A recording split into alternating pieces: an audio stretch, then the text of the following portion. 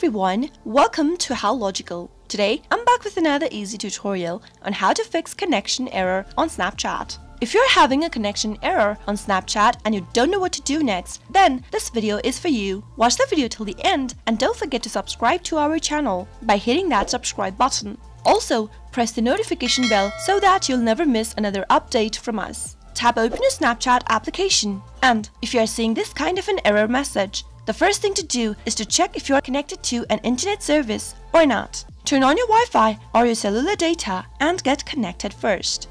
Once you're connected, tap open your Snapchat app and see if that fixes your issue. If that works for you, then that's great. Your problem has been solved. But if that still does not, then follow the steps. Force close your Snapchat application that is running in the background and go to the settings menu from your Android device. Tap it on and from the settings list, tap on apps. Search for Snapchat from the list of the apps displayed on the next page and tap it on. From the app info page, tap on storage. Tap on the clear cache button at the bottom right hand corner and tap on clear data at the bottom left. Tap OK from the pop-up, but before that, you must know all of the credentials for your Snapchat in order to be logged into it back again. If you don't have the credentials, then do not tap on the OK button, since you'll be needing your credentials to log into your Snapchat once you press OK. Once you do that, tap open your Snapchat application and see if that fixes your issue. The next thing to do is to go and tap on Play Store, tap on the search button at the top and type in Snapchat in the search box.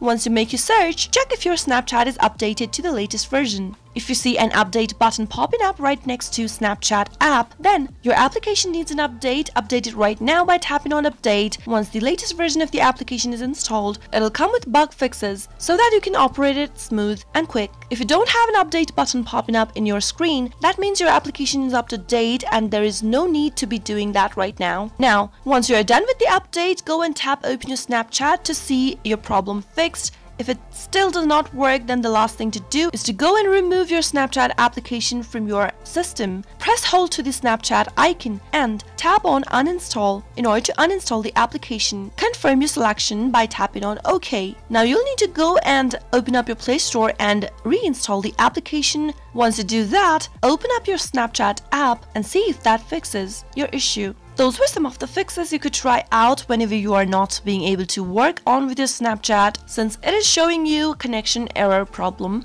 I hope the tutorial was helpful. If you found it to be, go ahead and give us a thumbs up. I'll be back soon with more tutorial videos like this. Thanks for watching.